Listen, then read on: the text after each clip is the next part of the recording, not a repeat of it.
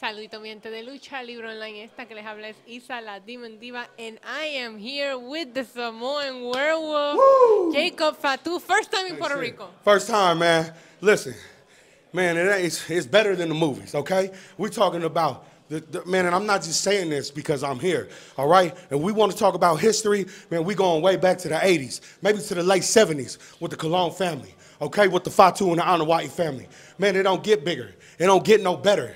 At the end of the day, man, Thank you, my Lord and Savior Jesus Christ, man, for bringing me here. Thank you for the for the Colón family. Thank you for Puerto Rico for bringing me here, man.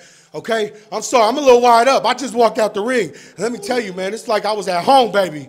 You know, it's like I was at home. I'm sorry, I'm a little wired up right now. I, lo- I love it. I love you're giving you're giving Puerto Rico energy. Yes, ma'am. Yes, ma'am. Absolutely. I mean, we didn't walk out the way we were supposed to walk out, but God damn it, we showed out the way how we know how to. You know. Now you just wrestled for the Universal Yes. Championship here at WWC. Yes. 50 year old company. What does that mean to you? Man, it, it means a lot. I mean, like I said, this goes back to the history. And not only that, they didn't bring me out here just to work the new student. They didn't bring me out here just to work anybody. Man, we're talking about five star. And there's a reason why that man is five stars. First off, he's bigger than me. I didn't realize how big he was until I got in the ring. Second of all, man, it don't get no better, man. Man, our coaches are just the same. When I got picked up, they said, "Welcome to the East Coast Samoa, baby."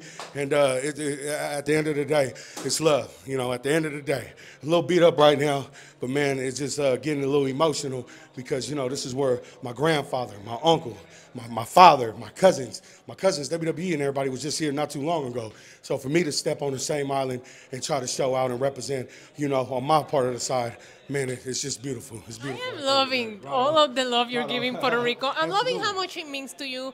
I have to ask one last question. Yeah. How's the food? Man, come on, man. hey, listen, they had catering earlier. I went back one the first time. Man, they, they kept seeing me go back three times. That's probably why I lost today. I had too much of that rice and that good chicken up in me today. All right, but man, we coming back though. Live and direct, man. Puerto Rico at the end of the day. Thank you.